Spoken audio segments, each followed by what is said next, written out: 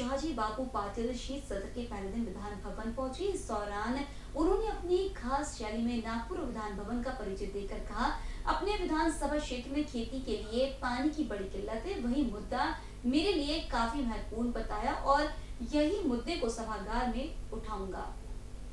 मैं सभागर में प्रश्न लेके जा रहा हूँ, मेरे इलाके में अभी तक खेती के लिए पानी नहीं है। वो सब्जेक्ट मेरे लिए सबसे इम्पोर्टेंट है। और दूसरा सब्जेक्ट मैं सभागृह में लेके जा रहा हूँ, जहाँ पानी हम पीने का पानी दे रहे हैं। हर गांव में हर बाड़ी बस्ती में वो पीने के पानी की पाइपलाइन जानी चाहिए कि विषय मेरा या इस सभागृह संभव है।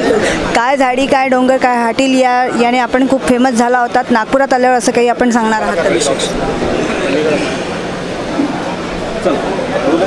काय नागपूर काय विधिमंडळ आणि काय तुम्हा लोकांचं प्रेम? नागपूरकरांची माया. सगळं काय ओके. तर नागपुरकरांचं प्रेम सगळं काही ओके. ऐसा बोलते हुए जो है शाहजी बापू पाटिल, विधायक जो है, इन्होंने कहा है कि काफ़ी क- समस्याओं को लेकर, काफ़ी प्रश्नों को लेकर जो है, आज पहले दिन मैं विधान भवन में आया हूँ। कैमरा पर्सन अमोल तुमसरे के साथ क्षितिजा देशमुख बी न्यूज़ नागपुर।